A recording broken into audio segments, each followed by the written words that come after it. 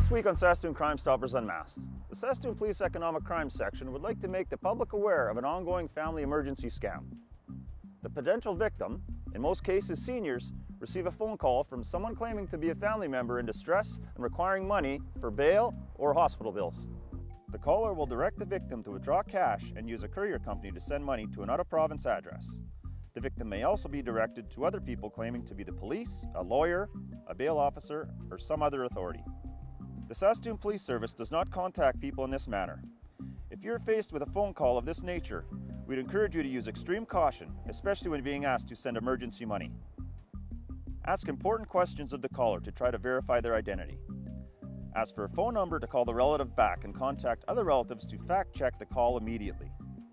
These callers use similar terms used in the justice system and build a sense of urgency and panic for the need to send money.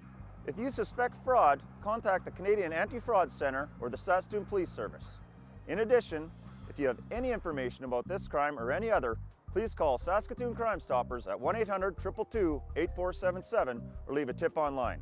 Our process is always anonymous and we pay cash rewards up to $2,000 for any information that leads to an arrest. Saskatoon Crime Stoppers, be the voice that silences crime.